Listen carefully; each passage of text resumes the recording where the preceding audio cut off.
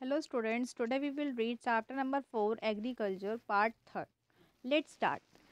It needs well drained loamy soil and gentle slopes. Labor in large, uh, large number is required to pick the leaves. Kenya, India, China, Sri Lanka produce the best quality tea in the world. Agricultural development. Agricultural development refers to efforts made to increase farm productions in order to meet the growing demand of increasing populations. This can be achieved in many ways, such as increasing the cropped area, the number of crop groans, improving irrigation facilities, use of fertilizers, and high yielding varieties of seeds. Mechanization of agriculture is also another aspect of agriculture development. The ultimate aim of agriculture development is to increase food security. Agriculture has developed at different places in different parts of the world. Developing countries with large populations usually practice intensive agriculture where crops are grown on small holdings, mostly for subsistence. Large holdings are more suitable for commercial agriculture, as in USA, Canada, and Australia. With the help of two cases studies of farm, one from India and the other from the USA, let us understand about agriculture in the developing and developed country. A farm in India. There is a small village, Adilabad, in Ghazipur, district of Uttar Pradesh. Munna Lal is a small farmer in this village who has farmland of about 1.5 hectares. His house is in the main village. He purchases high yielding varieties of seeds from the market every alternate year. The land is fertile and he grows at least two crops in a year, which are normally wheat or rice and pulses.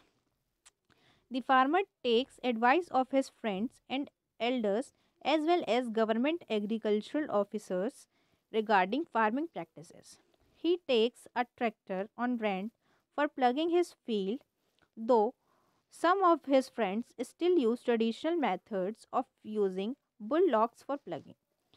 There is a tube well in the nearby field which he takes on rent to irrigate his field. Munnalal also has two buffaloes and few hens. He sells milk in the cooperative store located in the nearby town. He is a member of the cooperative society which also advises him on the type of fodder for his animals, safety measures to protect the health of the livestock, and artificial inseminations. All the members of the family help him in various farm activities. Sometimes he takes credit from a bank or the agricultural cooperative society to buy HYV sheets and implements. He sells his produce in the mandi located in the nearby town since majority of the farmer do not have leg storage facilities they are forced to sell the produce even when the market is not favorable to them in recent years the government has taken some steps to develop storage facilities a farm in the usa the average size of a farm in the usa is much larger than that of an indian farm a typical farm size in the USA is about 250 hectares. The farmer generally reside in the farm. Some of the major crops grown are corn, soybean, wheat, cotton, and sugar beet. Joe Horan, a farmer in the Midwest USA in Iowa state, owns about 300 hectares of land. He grows corn on his field after making sure that soil and water sources meet the needs of this crop. Adequate measures are taken to control pests that can damage the crop. From time to time, he sends the soil samples to a soil testing laboratory to check whether the nutrients are sufficient or not. The result helped Joe Horan to plan a scientific fertilizers program.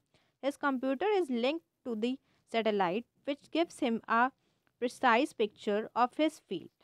This helps him to use chemical fertilizers and pesticides wherever they are required. He uses tractors, seed drills, labors, labeler, combined harvester, and threshers to perform various agricultural operations.